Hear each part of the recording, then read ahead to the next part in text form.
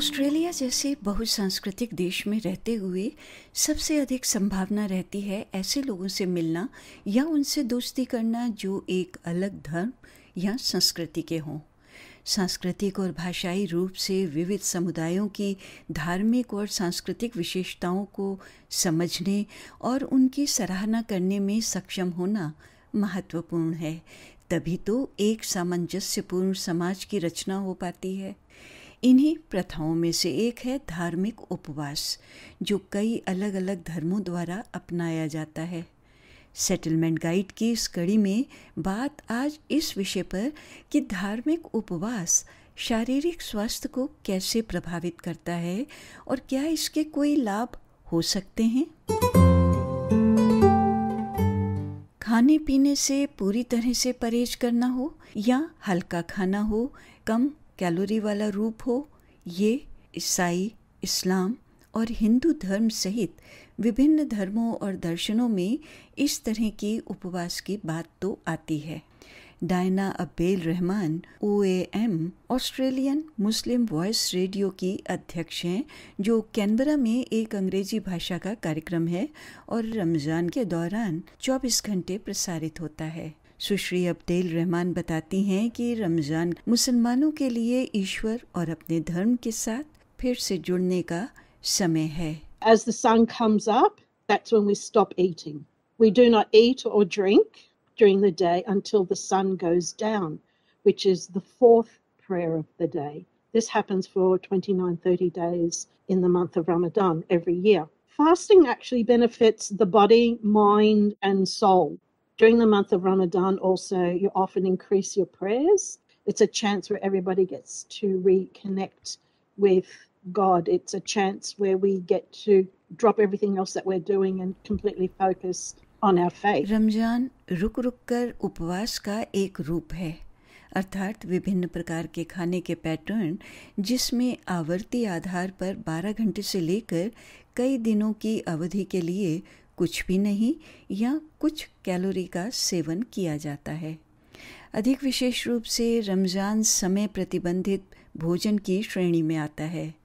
Doctor Veronique चैचे, जो Queensland विश्वविद्यालय में एक मान्यता प्राप्त अभ्यास आहार विशेषज्ञ, एक व्याख्याता और शोधकर्ता हैं, वो बताती हैं कि सीमित समय के लिए पूरी तरह से भोजन से परहेज करने से शरीर को कुछ महत्वपूर्ण लाभ मिलते हैं।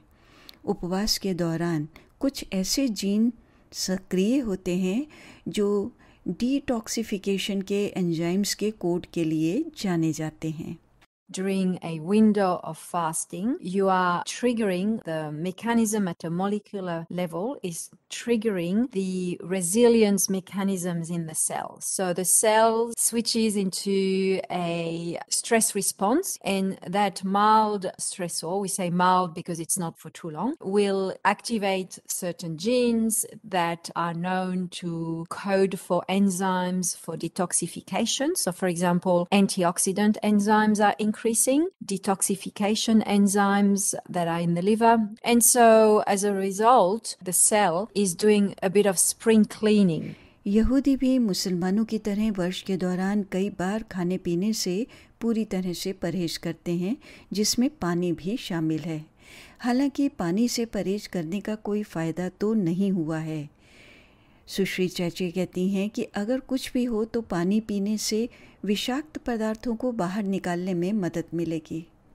वो कहती हैं, जब लोग उपवास कर रहे होते हैं तो ऑटोफेगी नामक एक प्रक्रिया विभिन्न प्रकार के ऊतकों और अंगों से प्रेरित होती है।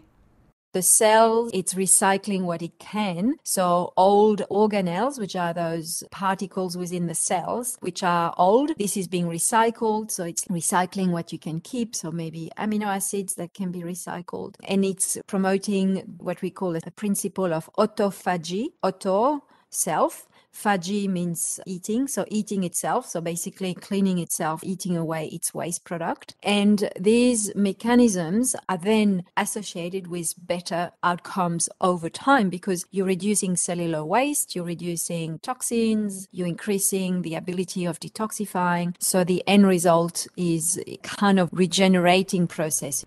Doctor चर्चे कहती हैं कि जब किसी उपवास के बाद दोबारा खाया जाता है तो कोशिकाएँ पोषक तत्वों को बेहतर तरीके से अवशोषित करने में सक्षम होती हैं And then when the person starts feeding again, then that switching from the fasting to the feeding in itself is also a beneficial effect because the cell has been deprived of certain nutrients and then suddenly these nutrients come in and it's making the maximum of these nutrients it's not being wasted it's not in surplus it's being used for the optimal function of the cells उनका कहना है कि स्वस्थ खाना महत्वपूर्ण है और बहुत अधिक मीठा नहीं खाना चाहिए क्योंकि इससे इंसुलिन में वृद्धि होगी और यहाँ तक कि समय के साथ इंसुलिन प्रतिरोध भी बढ़ जाएगा जो बहुत ही हानिकारक है अब कुछ धर्मों या संस्कृतियों में उपवास में पूरी तरह से भोजन से दूर रहना शामिल नहीं है। लेकिन कुछ निश्चित अवधि के दौरान कुछ खाद्य पदार्थों से परहेज करना शामिल है। उदाहरण के लिए हिंदू धर्म के लिए उपवास हल्के प्रतिबंध से लेकर अत्यधिक परहेज तक हो सकता है। हालाँकि हिंदू धर्म में उपवास एक दायित्व नहीं है, बल्कि एक नैतिक और आध्यात्मिक कार्य है, जिसका उद्देश्य शरीर और मन को शुद्ध करना है। कैथोलिक लैंड के दौरान शुक्रवार को मांस नहीं खाया जाता, जबकि ग्रीक रूढ़ीवादी ईसाई अधिकतर डेयरी उत्पादकों, अंडे और मांस से दूर रहते हैं और कभी कभी जैतून का तेल और मछली से भी साल में कुल 180 से 200 दिनों तक के लिए। डॉक्टर चैचे का कहना है कि इस तरह का उपवास कैलोरी प्रतिबंधित आहार की श्रेणी में फिट बैठता है।